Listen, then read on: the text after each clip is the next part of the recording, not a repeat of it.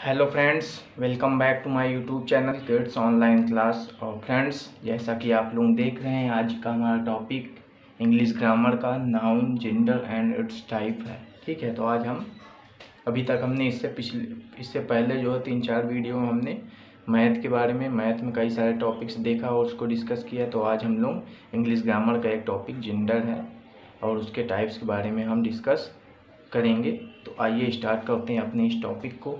तो इसको स्टार्ट करने के पहले मैं आपको बता दूँ कि इस टॉपिक में हम क्या क्या देखने वाले तो सबसे पहले इसमें हम जेंडर देखेंगे जेंडर होता क्या है। फिर इसके टाइप्स देखेंगे, जिसमें हम जेंडर के चार टाइप्स पढ़ेंगे masculine gender feminine gender common gender and neutral gender तो आइए फ्रेंड्स स्टार्ट करते हैं अपने इस topic noun gender and its type तो सबसे पहले फ्रेंड्स हम जानते हैं जेंडर होता क्या है।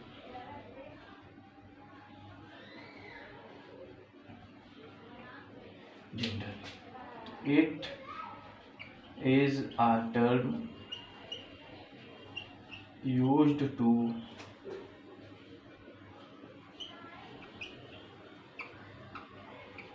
differentiate male sorry differentiate between male and female ठीक है फ्रेंड्स तो जेंडर क्या है? जेंडर एक ऐसा टर्म है जिसका यूज़ हम लोग किस लिए करते हैं? मेल और फीमेल नाउन को डिफ्रेंशिएट करने के लिए, उन दोनों के बीच में डिफरेंस देखने के लिए हम जेंडर का यूज़ करते हैं। क्योंकि जब हम नाउन पढ़ते हैं, जिसमें कई सारे ऐसे वर्ड्स होते हैं, जिनको जब हम जेंडर पढ़ लेते हैं, तब उससे हम क्या कर पाते हैं? डिफ्रेंशिएट कर पाते हैं कि वो मेल से रिफ़र कर रहा है या फीमेल से रिफ़र कर रहा है। अब फ्रेंड, इसके बाद हम लोग क्या देखते हैं? जेंडर के टाइप्स देखेंगे, लेकिन उससे पहले मैं आप लोगों से एक सवाल पूछता हूँ। थोड़ा सा बताइएगा एक क्वेश्चन है आप लोगों से, जिससे हो सकता है इसके टाइप्स हमको बहुत आसानी से समझ में तो यहाँ पे फ्रेंड्स हम क्या करेंगे? चार एग्जाम्पल्स लेते हैं। मान लीजिए एक हमारे पास बॉय दूसरा एग्ज़ाम्पल हमने गर्ल गर्ल ले लिया। तीसरा एग्ज़ाम्पल हमने मान लीजिए बेबी ले लिया है। और हमारा फोर्थ एग्ज़ाम्पल मान लीजिए हमने ले लिया है बुक ओके फ्रेंड्स तो ये चार एग्ज़ाम्पल हैं, मान लीजिए क्वेश्चन के एज अ तो इसमें हमको करना क्या है? इसमें हमको मेल और फीमेल बताना है इन चारों में कि कौन सा मेल होगा, कौन सा फीमेल तो आइए देखते हैं. तो बॉय तो ये तो एकदम कॉमन सी बात है, ये हमारा क्या होगा? मेल होगा, एकदम नॉर्मल सी बात. गर्ल की बात की जाए तो ये फीमेल अब बेबी की बात की जाए फ्रेंड्स बेबी तो बेबी में हम क्या कह सकते हैं? आइदर मेल और फीमेल बेबी में क्या हो सकता है फ्रेंड्स या तो मेल हो सकती है या फीमेल दोनों में से कोई एक हो सकती है. बुक में neither male nor female okay friends तो यहाँ पर हमने चार एग्जाम्पल्स लिए हैं उनमें देखा कि कौन सा मेल होगा, कौन सा फीमेल होगा। तो आइए इसको आपको समझाते हैं। तो सबसे पहले हमने क्या लिया? बॉय बॉय तो एकदम कॉमन सी बात है नॉर्मल सी बात की हमारा क्या होगा? मेल होगा, जो गर्ल्स है वो फीमेल होगी। लेकिन अगर बेबी की हम बात करते हैं तो बेबी या तो मेल हो सकता है या फीमेल बेबी सबसे हम ये नहीं पहचान पा रहे हैं कि ये मेल होगा या फीमेल और रही बात बुक की बुक की बात की जाए तो इसको तो हम, इसका तो ना मेल हो सकता है, ना फीमेल तो ये ना तो मेल होगा, ना तो फीमेल तो इस एग्ज़ाम्पल से हमने क्या देखा कि यहाँ से नाउन के जो टाइप्स बन रहे हैं, आप देख रहे हैं, चार टाइप्स बन रहे हैं, ठीक है? एक तो है जो कि केवल मेल को रिफ़र करता है, दूसरा फीमेल को रिफ़र करता है। तीसरा जो है, वो मेल और फीमेल दोनों में से कोई एक हो सकता है, और जो हमारा चौथा है, वो क्या है? ना तो मेल होगा, ना तो फीमेल होगा। तो यहाँ से हमने इस एग्ज़ाम्पल से हमने क्या जाना फ्रेंड्स की जो हमारा नाउन जेंडर है, उसके जो टाइप्स हैं, वो कितने बनते हैं फोर तो आइए एक एक करके पूरे चारों टाइप्स हम देख लेते हैं, ये है क्या? तो एग्ज़ाम्पल हमने इसलिए लिया ताकि एक साथ आपको समझ में आ जाए और कभी जब एक साथ एक दूसरे के कंपेरिजन में हम किसी चीज़ को पढ़ते हैं तो क्या होता है, हम उसको जल्दी से भूलते नहीं हैं, चारों के चारों एक साथ याद रहेंगे। तो आइए हम लोग जानते हैं सबसे पहले types of types of gender okay friends तो अभी हमने टाइप्स देखा तो सबसे पहले हम चारों टाइप्स के नाम आपको बता देते हैं, फिर एक एक करके उसको फर्दर देखेंगे। तो सबसे पहले मैस्कुलाइन होता है मैस्कुलाइन जेंडर फ़र्स्ट टाइप में। सेकेंड में आप लोग चाहे तो वीडियो को पॉज करके ये सारी चीज़ें नोट डाउन कर सकते हैं। सेकेंड हमारा क्या होता है फेमिनाइन जेंडर थर्ड वन हमारा क्या होगा कॉमन जेंडर कॉमन जेंडर और हमारा फोर्थ क्या होगा? Neutral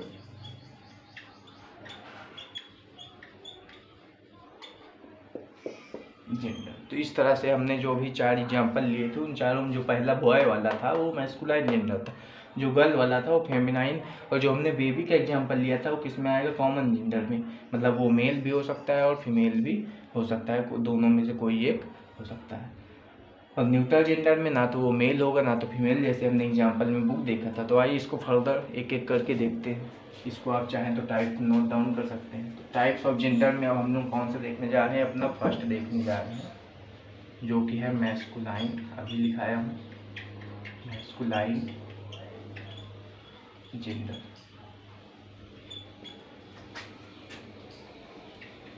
it refers to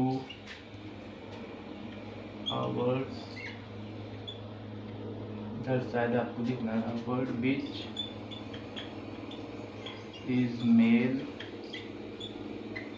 figure और male member of species okay friends तो मैस्कुलाइन में हमने क्या लिखा है? It refers to our which is male figure और मेल मेंबर ऑफ़ स्पीसीज ठीक है, ये ऐसे वर्ड्स होंगे नाउन के ऐसे वर्ड जो किससे रिफर्स करेंगे मेल फिगर से या मेल मेंबर ऑफ़ स्पीसीज से रेफर करेंगे। इनके एग्ज़ाम्पल देख लेते हैं, कई सारे एग्ज़ाम्पल में, जैसे किंग आपको थोड़ा आवाज़ में हो सकता है प्रॉब्लम हो इधर से। कई बार हमने बताया कि ये आते जाते रहते हैं, थोड़ा सा शांत मान लीजिए किंग हो गया बॉय फादर अंकल हॉर्स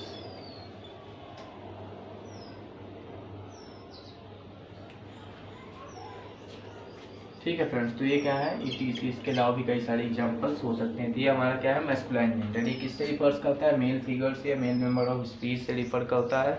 इसके एग्जांपल जैसे किंग राजा, लड़का, पापा पिता अंकल, चाचा, हॉर्स, घोड़ा, ये सारी किसमें आते हैं हमारे मैस्कुलाइन जेंडर में, आते हैं। आइए हम लोग सेकेंड वन अपना देखते हैं, जो कि क्या था? Feminine gender feminine gender second है हमारा फेमी नाइन जेंडर ठीक है फ्रेंड्स ये हेलीकॉप्टर आता रहता है अब मैं क्या करूँ? काफ़ी बीच में डिस्टर्ब हो जाता है तो इसको रुकत नहीं जा सकता। तो मैं कोशिश करूँगा थोड़ी तेज़ आवाज़ में, आप लोगों ने कोशिश करिए, थोड़ी देर में ये भी चला जाएगा। तो आइए देखते हैं it refers to our which is female. Figure or female member of species. Okay friends क्या है? Refers to our which is female figure और फीमेल मेंबर ऑफ़ स्पीसीज इसके एग्जांपल्स हम देख लेते हैं, जैसे क्वीन मदर गर्ल आंटी या aunt grandmother and so on या ठीक है फ्रेंड्स तो ये हो गया हमारा क्या फेमिनाइन जेंडर ये क्या होते हैं? ये नाउन के ऐसे वर्ड्स होते हैं जो किससे रिफर्स करते हैं? फीमेल फिगर्स या फीमेल मेंबर ऑफ़ स्पीसीज इस तरह एक एग्ज़ाम्पल और मान लीजिए। तो ये सारे जो होते हैं, जो हमारे इसमें आते हैं फीमेल मान लीजिए एक हमने एनिमल्स में हेन ले लिया कैट ये सारे किसमें आएँगे? फीमेल में मतलब फेमिनाइन जेंडर में आएँगे। इसके बाद हम लोग नेक्स्ट अपना देखते हैं जो कि हमारा क्या है common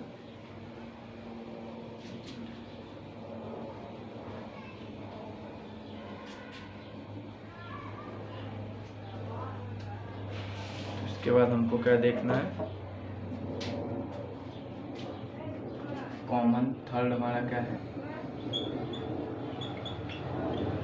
common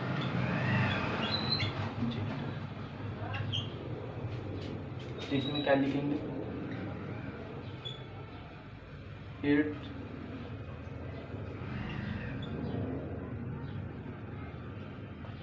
it refers to a both male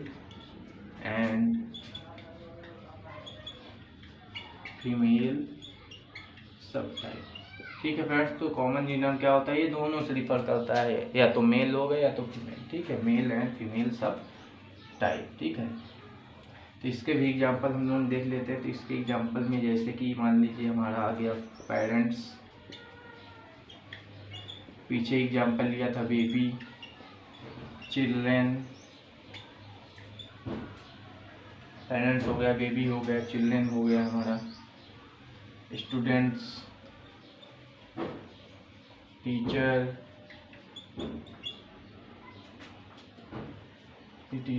इसके अलावा भी कई सारे हो सकते हैं। तो कॉमन जेंडर की बात की जाए फ्रेंड्स तो ये नाउन के ऐसे वर्ड्स होते हैं जिनको जब हम देखते हैं तो हम ये नहीं स्पेसिफाई कर पाते कि मेल हो गया फीमेल जैसे अगर हम पेरेंट्स की बात की जाए तो अगर पेरेंट्स मान लीजिए किसी के पेरेंट्स को कल बुलाया गया था, उसमें मदर बुलाया गया फादर को ये हम स्पेसिफाई नहीं कर सकते।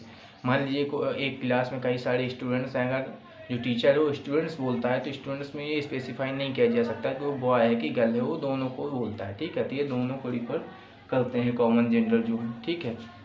और जैसे टीचर टीचर तो मेल भी हो सकती फीमेल भी दोनों को हम टीचर ही बोलते हैं तो इस तरह से ऐसे नाउन तो इस लिहाज से ये दोनों को रिफर करता है बोथ मेल और फीमेल सब टाइप ठीक है? तो आशा करते हैं ये भी आपको समझ में आएगा फ्रेंड्स आगे हम लोग अपना लास्ट देखते हैं जो कि है।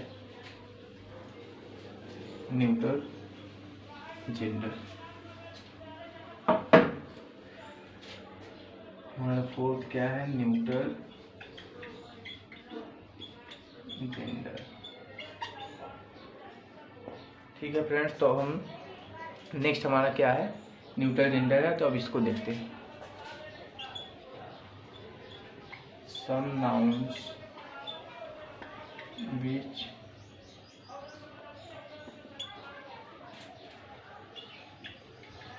neither a male or a female subtype.